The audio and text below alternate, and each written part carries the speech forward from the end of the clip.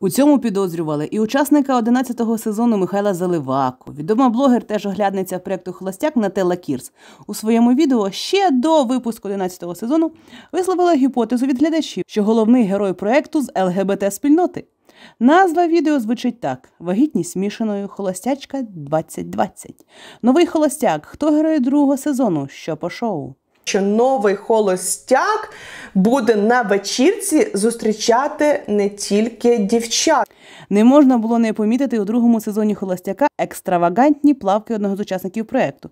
Психолог Олена Шпундра, яка теж оглядає цей проєкт, зазначила, що коли аналізувала п'ятий випуск другого сезону, що за кадром чоловіки нетрадиційної орієнтації носять плавки чаєчки трохи спущеними, для того, щоб показати, що вони в активному пошуці партнера.